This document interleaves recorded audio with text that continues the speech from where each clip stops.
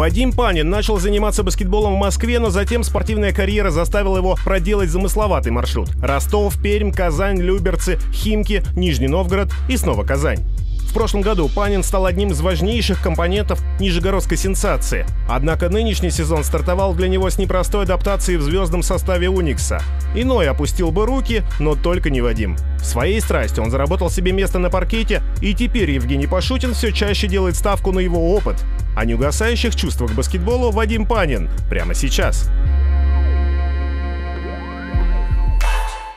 Добрый день, я Вадим Панин, форвард БК «Уникс». Баскетбол – это любовь всей моей жизни. Сейчас я расскажу, как развивались наши отношения.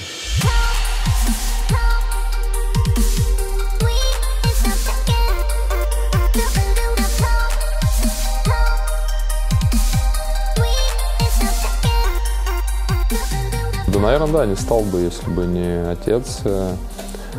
Я помню, ну, как всегда, пришли в школу, встали все, посмотрели, кто повыше, ну и оставили телефон. То есть это было две женщины, два тренера. Эм, ну, оставили телефон, и я так, по-моему, принес домой, оставил, и все. А папа был в командировке в тот момент, я помню.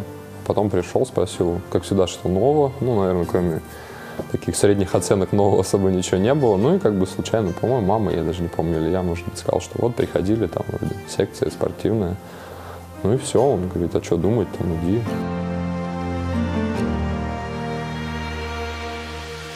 И второй раз папа повлиял на мою карьеру и сказал, нет, оставайся в «Динамо».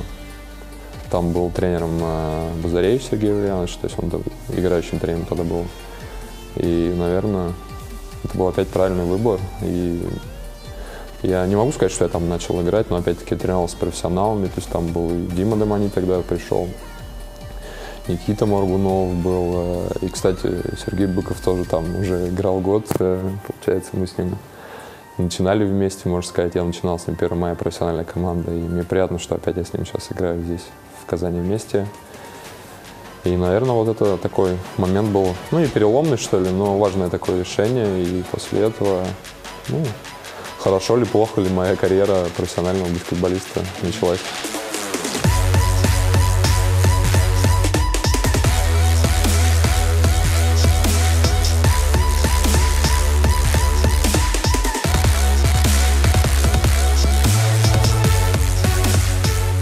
Да, действительно много команд э, так уж получилось. Не могу сказать, что это какое-то какое-то хобби там или что-то менять там привычка, да. Ну, какие-то были определенные везде, не знаю сказать, какие условия, но из-за чего надо было менять э, команды.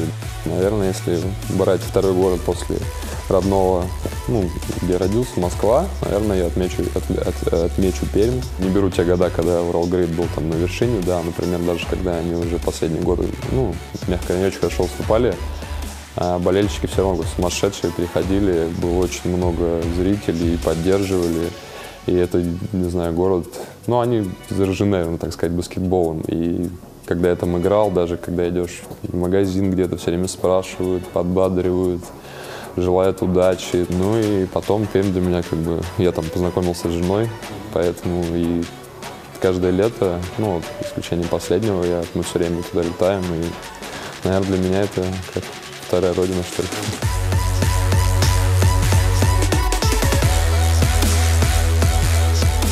Так получилось, да, что в Уникс вернулся я единственный раз, ну, из, из тех команд, которых играл. И, в принципе, приятно, потому что он изменился после универсиады, которая была в лучшую сторону. Сейчас его, ну, наверное, не узнать с тем городом, который я был там в 2006-2007 году сезонов. Тогда была действительно сильная команда, и были братья Лавиновичи здесь, и Саули Штромбергас, и, и э, американские тоже сильные были игроки, и Егор Мещеряков был белорусский тоже известный игрок. Мы боролись с, Химками за выход э, в финал, и помню, тогда Саулис получил травму, и, наверное, может быть, из-за этого в финале не показали, ну, как сказать, максимальные игры, которые, в принципе, эта команда могла показать, бороться даже с ЦСКА за золотые медали.